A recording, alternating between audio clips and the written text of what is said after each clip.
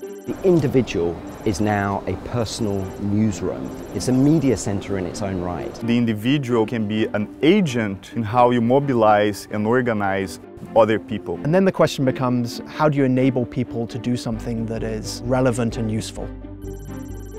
The primary driver of civic participation in any community is need. You do it because you see a gap and you need to address it. The secondary driver is a type of moral concern, the sense of global citizenship that characterizes many millennials. The three-year-old Syrian boy Aylan Kurdi who drowned generated such an enormous outpouring of public grief that within hours hundreds of thousands of people had signed a petition to put pressure on the Prime Minister. Whether or not people felt comfortable about that image being shared so widely, it has the potential to change policy. But most of the time there's that nagging suspicion that most people don't feel very connected to the issues they care about. For example, signing a petition, donating money are not particularly meaningful actually in terms of supporting frontline activists on the ground. What we're trying to do there is think about civic participation in a much more individualized way. Tap into the potential of these distributed networks that really characterize modern day activism and are enabled by technology trends that come out of consumer markets, so live video, uh, task routing APIs from the on-demand economy, smart calendaring, and say,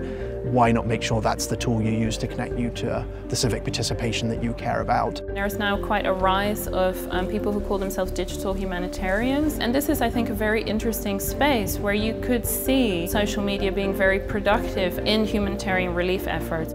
Civil society experiment with new forms of participation. Governments should embrace this experimentation as well, because if governments do not do that, it will happen just like the music industry. Innovation will be made in spite of them.